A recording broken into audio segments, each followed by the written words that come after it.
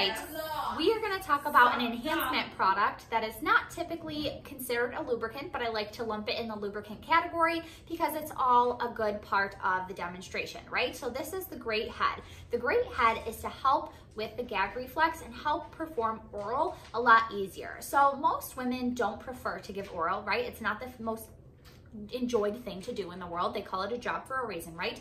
And it doesn't taste the best, okay? So you might be somebody who enjoys oral and that's fantastic, but most women don't. So if it's not tasting good and you're not enjoying giving it, guess what's happening? It's making them last a lot longer. And you're down there, you're doing your thing, you're looking in the eyes, trying to be sexy and do all the tricks, whatever you're doing, and you're like, are you almost done? And they're like, yeah, I'm so close, just keep going. And you're like, I'm dying.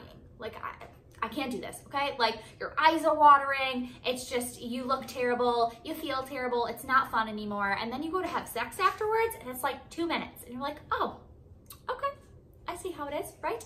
Not fun for anybody. So one, this is gonna help you because it's flavored, so you can enjoy it a little bit more, and if you're enjoying giving it a little bit more, it's gonna speed things up a lot more. Second, it's gonna help suppress your gag reflex. It's not numbing your throat, but it's going to create a barrier that protects the back of your throat so that nothing is able to make you tickle, cough, or gag while performing.